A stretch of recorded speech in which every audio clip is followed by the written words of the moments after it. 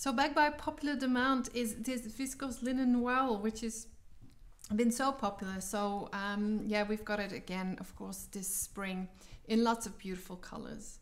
And this is an amazing fabric for spring and summer because it's an easy to sew fabric with beautiful drape, has a nice amount of weight to it.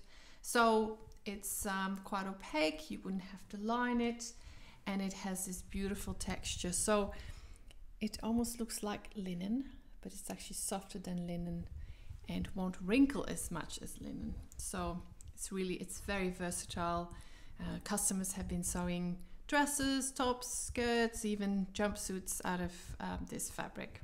So lots of options and lots of great colors. As I've said before, this one is called Sunshine.